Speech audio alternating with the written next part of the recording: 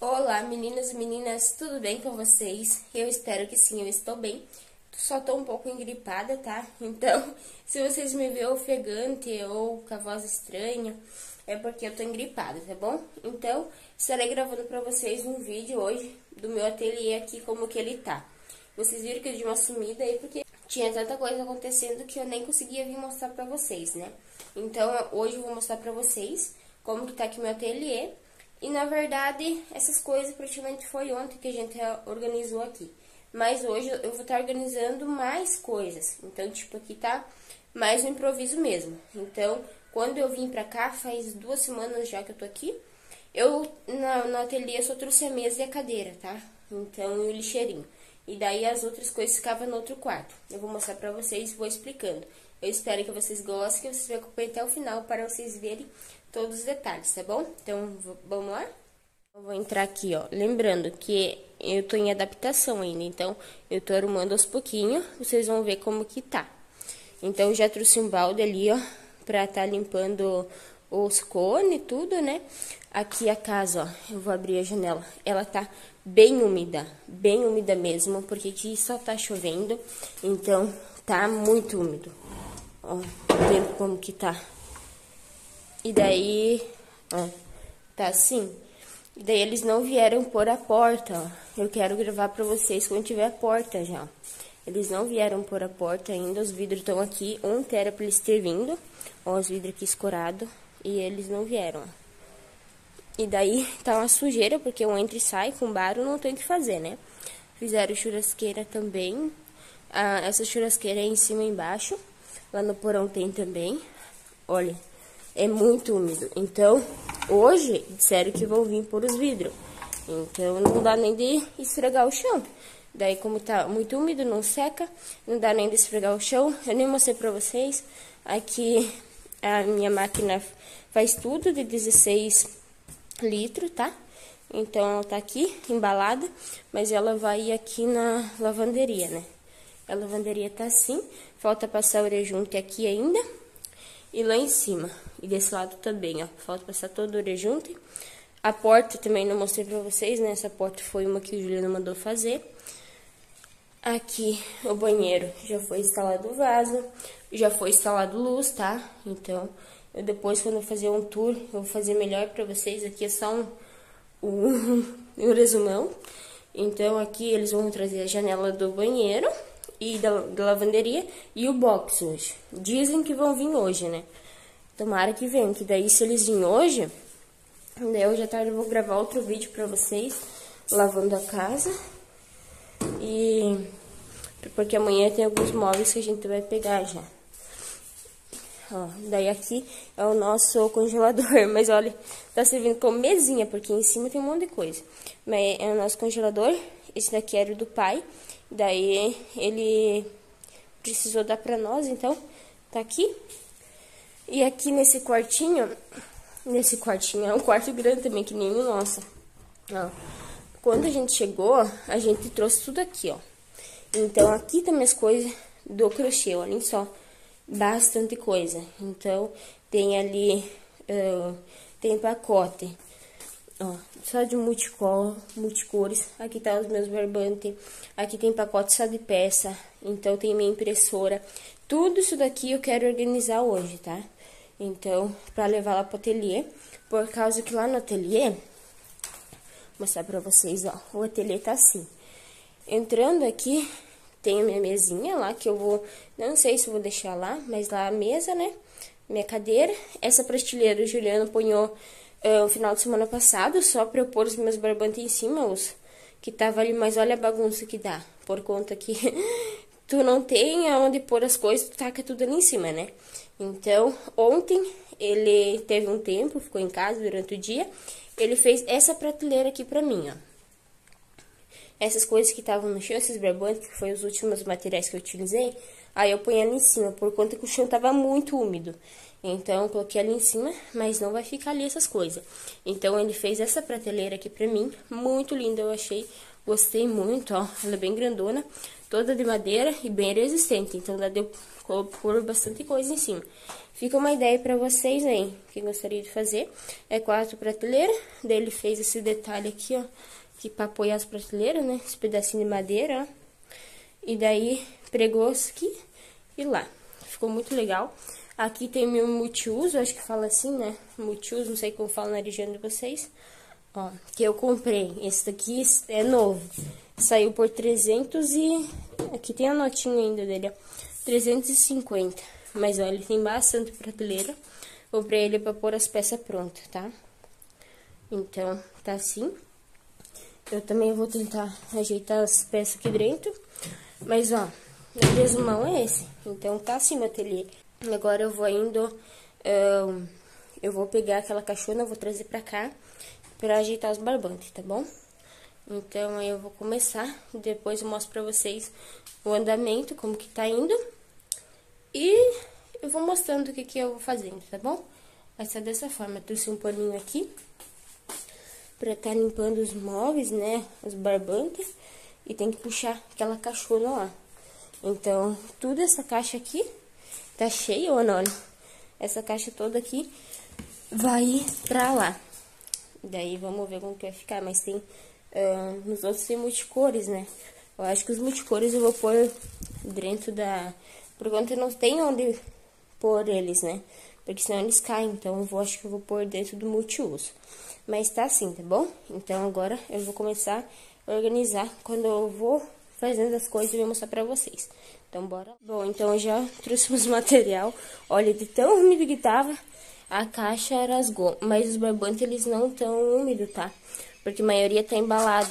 Então, eu tava com bastante medo de ficar úmido. Mas eles, a maioria tá embalado, então não tem muito perigo. Aqui, ah, eu tô pensando em pôr nas três primeiras prateleiras. E lá embaixo, talvez deixar só pra pôr as embalagens, as outras coisas. Mas vamos ver, né? Porque tem bastante material. Mas eu vou ver como que eu vou organizar. Mas minha intenção, eu acho que eu vou começar de cima para baixo, que daí embaixo eu deixo só os, as outras coisas, tá bom? Como esse daqui, a coisa de embalar, essas outras coisas. Então, agora eu vou começar a organizar aqui. Meninas, então eu acabei de arrumar, tá? Então vou mostrar pra vocês. Eu não gravei, por conta que daí era abaixo e aí ergue, abaixo e ergue os barbantes. Então eu não gravei. E agora eu vou mostrar pra vocês como que ele ficou, mas ele não tá finalizado, tá bom? Eu vou explicar pra vocês o que eu quero fazer mais pra. Entrando aqui, vocês podem ver que tem esse daqui ligado, que ele é tipo um aquecedorzinho, sabe? Então ele ajuda a secar, como que ainda não tem a porta aqui, ó tem muita umidade no chão. Eu aproveitei e passei um pano aqui também. Mas aqui no ateliê não pode ficar úmido, né? Por conta que eu gravo aqui no chão. Então, uh, eu uso daqui e daí ele vai secando. Tem lugar que já tá seco, ó. Daí tem umidade em outros lugares. Daí eu vou virando ele. Aí quando seca, ele demora pra voltar a umidade. Então, ele tá ali, mas o lugar dele é ali, ó. Daí eu deixei esse espaço ali pra pôr ele quando desocupo. Aqui embaixo Começando por baixo, eu coloquei uma caixa que é fio de polipropileno, fio mais fino que eu utilizo bem pouco, a outra é, é uns square que eu tinha feito uma vez, e uma sobrinha também, que é umas bolinhas, sabe? As minhas embalagens, ali os meus brindes. Esses fios eu sempre ocupo, que é para carregar o celular e outro para carregar o note. Subindo aqui, eu deixei meus multicores que estão fechados aqui, tá? Então, os material. E aqui dentro, na primeira na primeira prateleira eu deixei aqueles abertos e os que eu tenho, tipo, que são cone que tá um pouco aberto, eu não quero que pegue poeira. E ó, eu não coloquei ainda as peças, tá?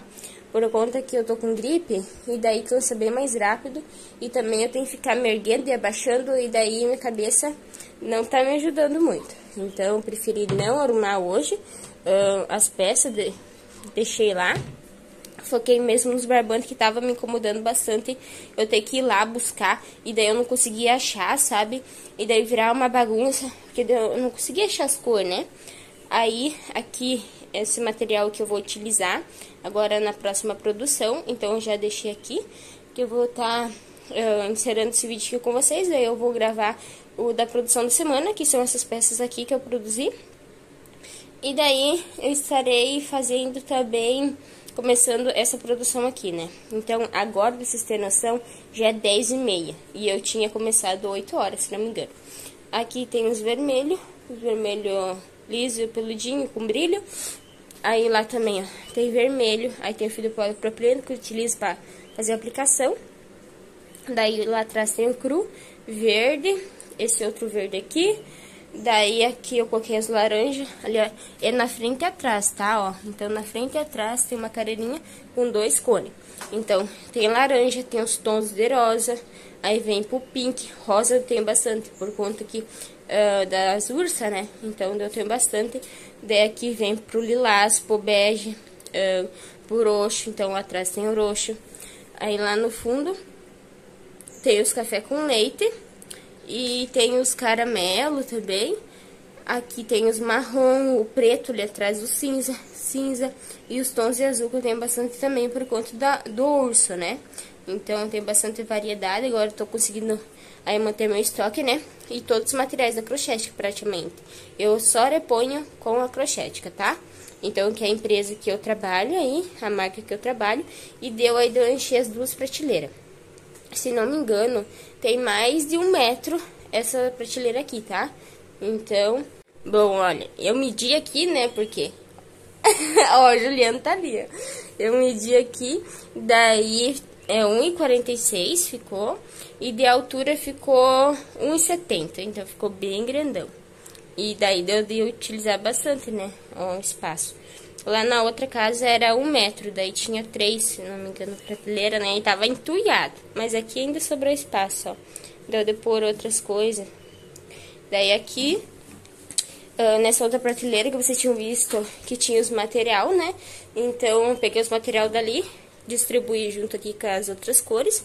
E aqui ficou minha impressora, que como que eu mando pra fora, eu faço a impressão em casa, tá?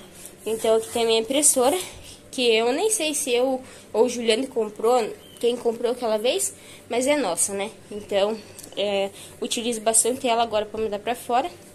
Aqui eu deixei umas coisas que eu utilizo, que aqui tem as pérolas, uh, a minha cola, isso aqui que eu uso para gravar, porque a minha ring light foi pro estouro, então ela quebrou.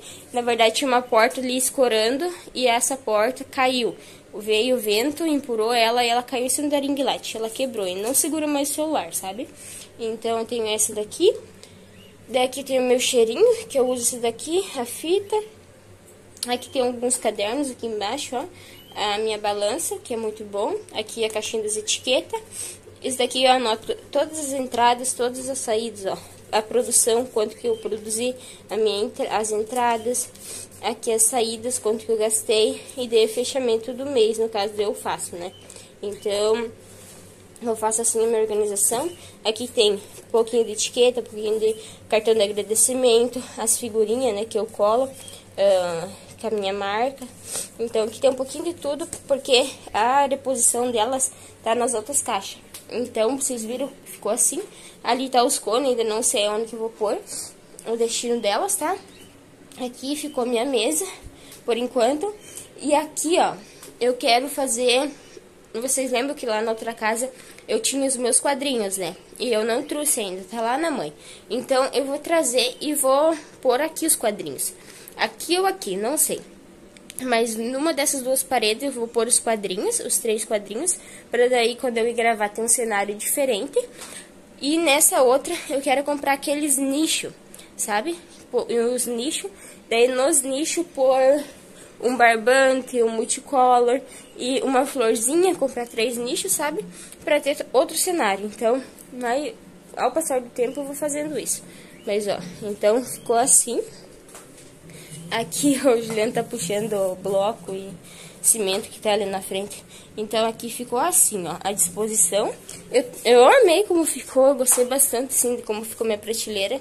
Achei que o espaço que ela utilizou aí é bem bom. Cabeu também multiuso do lado, não estrova nada. E eu gostei bastante que é um cenário, né? Então, para gravar aí vídeo, ficou bem legal. Eu quero saber de vocês, o que, que vocês acharam. E aqui no outro quarto, eu trouxe de volta as caixas, né? E as bolsas que eu desocupei, esse daqui. E aqui ainda tem peça, então uh, essas duas malas é peça, aqui também é peça. E quando melhorar um pouquinho, uh, final de semana ou começo de semana que vem, eu já vou tirar dali e pôr lá no multiuso, por conta da umidade, né? mesmo que tá tudo embalado, tá? Lembrando, tá tudo embalado. Eu logo vou estar tá já desocupando essas bolsas e guardando lá. E aqui é mais agulha também, é mais coisa assim. Então, é pouquinha coisa ainda, é só um multiuso mesmo, as minhas peças que eu vou estar tá organizando. Hoje não vou organizar por conta que eu tô engripada, né, ruim, né? Mas, ó, tá assim.